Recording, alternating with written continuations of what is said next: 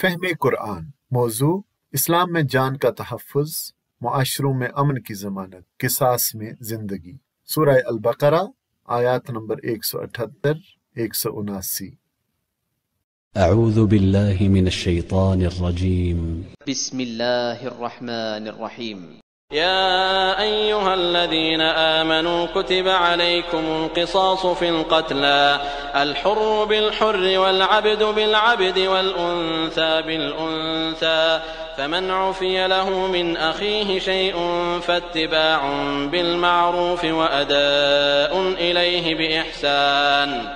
ذلك تخفيف من ربكم ورحمة فمن اعتدى بعد ذلك فله عذاب أليم. ولكم في القصاص حياة يا أولي الألباب لعلكم تتقون.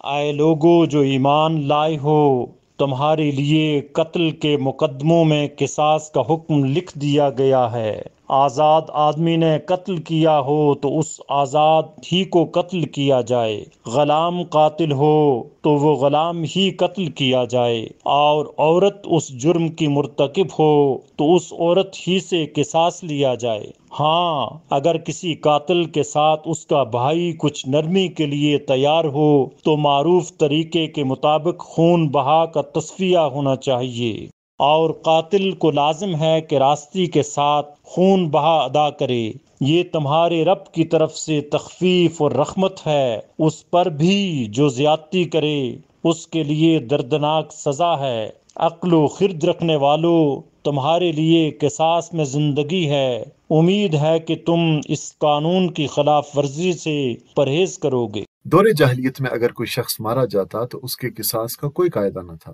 لہٰذا اس کے بدلے دونوں طرف سے ہزاروں خون ہوتے مگر پھر بھی فساد کی جڑ ختم نہ ہوتی۔ عرب کی تمام خانہ جنگیاں جو برسا برس تک جاری رہتی تھیں، اس کی صرف یہی وجہ تھی۔ طاقتور قبیلے کمزور قبیلوں پر جس طرح چاہتے ظلم کا ارتکاب کرتے۔ اور ایک ظلم کی شکل یہ تھی کہ کسی طاقتور قبیلے کا کوئی مرد قتل ہو جاتا تو وہ صرف قاتل کو قتل کرنے کے بجائے قاتل کے قبیلے کے کئی مردوں بلکہ بسا اوقات پورے قبیلے کو ہی تہس نہس کرنے کی کوشش کرتے۔ اور اس کے برعکس مقتول اگر کوئی ادنا آدمی اور قاتل معزز آدمی ہوتا تو اس بات کو گوارا نہ کرتے کہ مقتول کے بدلے قاتل کی جان لی جائے۔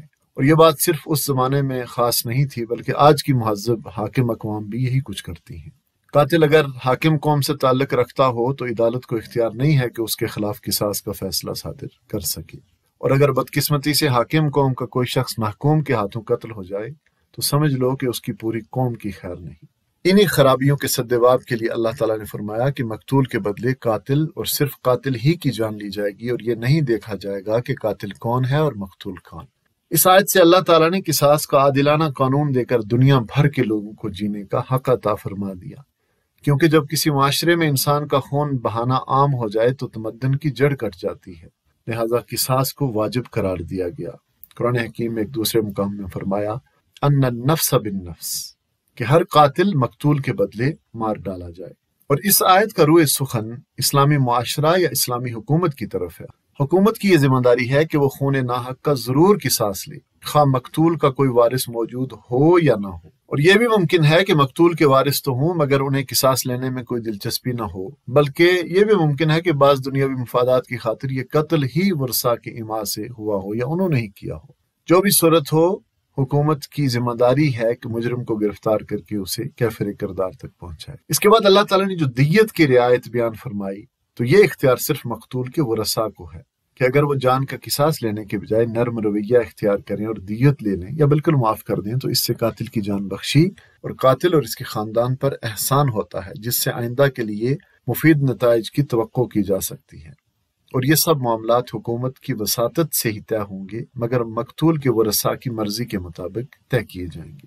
فمن بعد کا مطلب ہے یعنی اگر انسان کی نیت میں بگاڑ ہو تو زیادتی کی بہت ساری شکلیں بن سکتی ہیں۔ کہ مقتول کا وارث وقتی طور پر دیت لے کر مالی فائدہ حاصل کر لے اور جب کبھی موقع ملے تو قاتل کو بھی مار ڈالے۔ اسی طرح یہ بھی ممکن ہے کہ قاتل اور اس کے ورثاء حکومت کے دباؤ کے تحت دیت ادا کر دیں، مگر بعد میں ان پر کسی نئے ظلم، چوری یا ڈاکہ وغیرہ کی اسکیم تیار کرنا شروع کر دیں۔ تو ایسی تمام صورتوں میں وہ اللہ کی غضب کے مستحق ٹھہریں گے۔ تو ثابت ہوا کہ اسلامی معاشرے میں قاتل کی گرفتاری اور قصاص کی تنفیذ حکومت کی ذمہ داری ہوتی ہے اور قاتل کو معاف کرنے کا اختیار صرف مقتول کے و رسا کو ہے۔ اسلامی نظام میں کسی صدر یا وزیر اعظم کو اختیار نہیں ہے کہ کسی قاتل کو معاف کر دے۔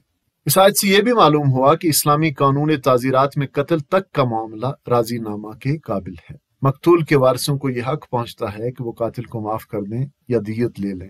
اور اس صورت میں عدالت کے لیے جائز نہیں کہ قاتل کی جان ہی لینے پر اصرار کرے۔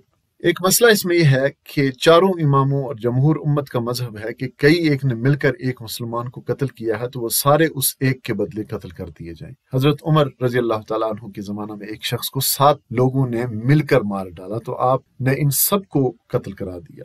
اور فرمایا کہ اگر ثنا کے تمام لوگ بھی اس قتل میں شریک ہوتے تو میں کساس میں سب کو قتل کرا دیتا۔ اور آپ کے اس فرمان کے خلاف آپ کے زمانہ میں کسی صحابی نے اعتراض نہیں کیا، بس گویا اس پر اجماع ہو گیا۔